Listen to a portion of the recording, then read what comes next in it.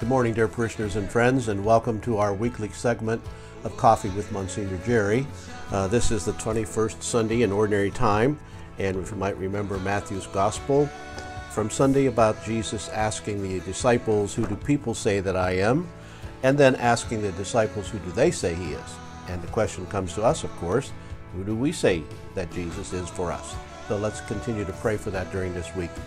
Now, today I wanted to do something a little different. I wanted to have Mug Display Day. Now, we're all familiar with this uh, wonderful mug that we've been using, and I want to thank everybody again for participating in our effort to sell these mugs for and offer donations.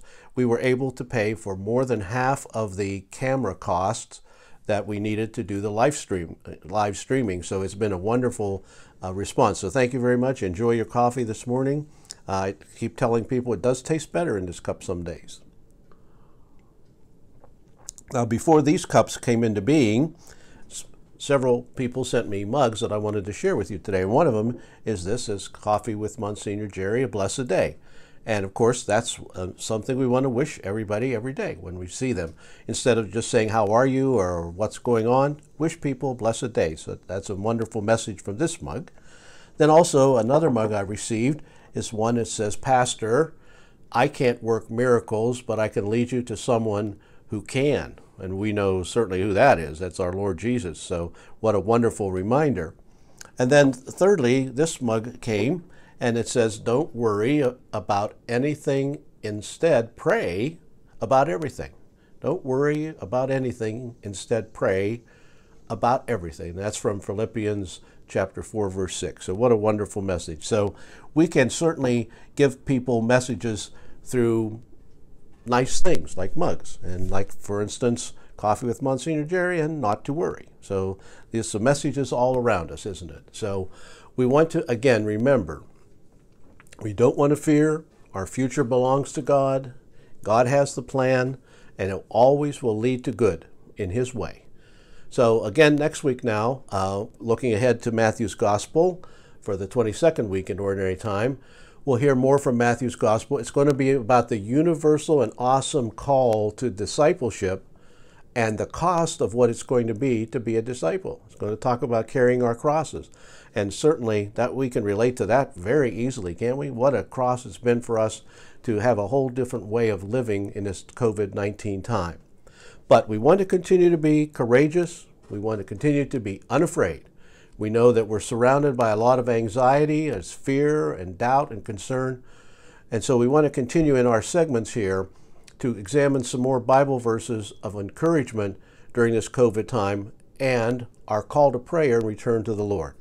Uh, I think a lot of people seem to be returning to the Lord, and maybe that's a wonderful message that He's giving us. So today, let's look at some of these. We uh, are looking for encouragement, uh, so we will not be afraid.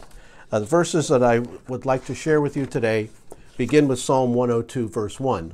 And that psalm goes Hear my prayer, O Lord. Let my cry come to you. Do not hide your face from me in the day of my distress. Incline your ear and answer me speedily when I call. And of course, the message there is if we are faithful, we can cry out to the Lord. He won't hide his face from us. And especially that last line, answer me speedily when I call. You know, we want answers quickly, don't we? So we'll have to just continue to trust in the Lord, know that the message comes through the Psalms. Our next uh, verse would be Ecclesiastes 11:10, and the message there is, "So then, banish all anxiety from your heart, and cast off the troubles of the body." What a, a message that it is for us today cast off the troubles of the body because we're all worried about that, aren't we? We're worried about the people who have contracted this virus, we're worried about the people caring for them, and we're worried about taking those mitigation uh, procedures so that we can be safe. So let's continue to pray that. Cast off the troubles of the body. Then again in Isaiah chapter 41, verse 10, the message is So do not fear, for I am with you. Do not be dismayed, for I am your God. I will strengthen you and help you. I will uphold you with my righteous hand. And now we can continue to see that all through the scriptures, in the books of the, the Old Testament, the books of the New Testament, the message is really clear, isn't it? So many times we hear the message do not fear, do not be dismayed, do not be anxious, but trust. And we want to continue to pray daily that we can trust more and more.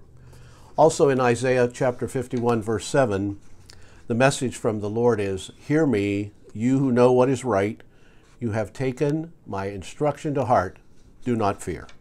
And every time we act in a faithful manner, every time we follow the Word of God, every time we reach out to help our neighbor, every time we pray for someone who really needs prayer, those are the things that God's instruction we have taken to heart. There's no need for us to fear.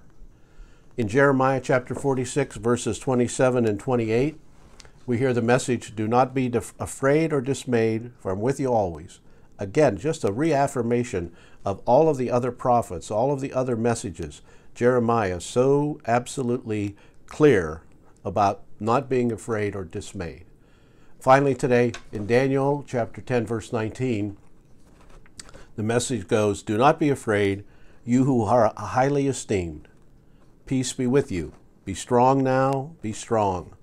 When the Lord spoke, I was strengthened. Help us, Lord, to be strong and faithful.